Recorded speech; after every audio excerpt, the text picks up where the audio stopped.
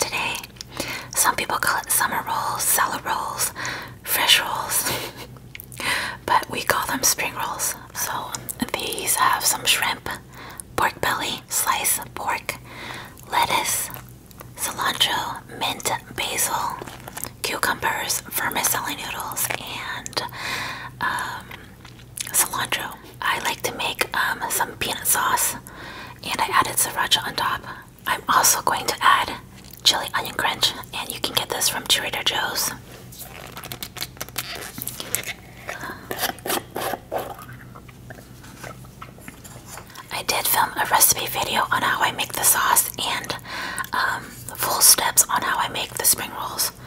I'll link it down below for you guys. Chili onion crunch.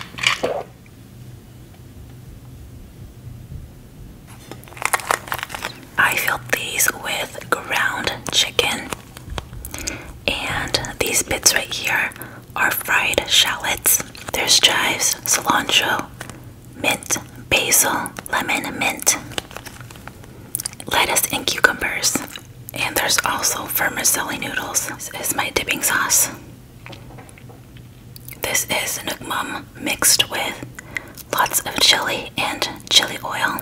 I make a big batch of sauce, so it's just garlic fish sauce, sugar, water, and you can use lime, but this one I use vinegar instead of lime, so it lasts longer.